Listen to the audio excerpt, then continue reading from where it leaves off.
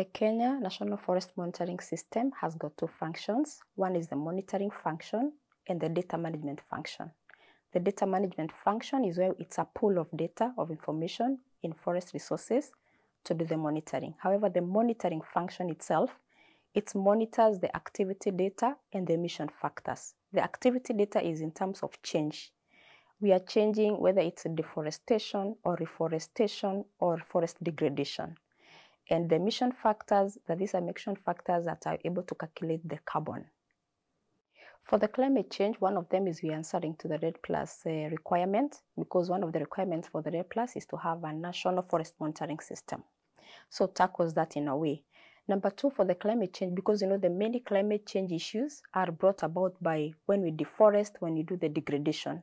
So monitoring these aspects, therefore, addresses the issues that come up in as a result of the climate change. For example, droughts. Uh, for example, maybe flooding. So this monitoring will help us even make policy decisions on how we are tackling the issues that come up as a result of climate change.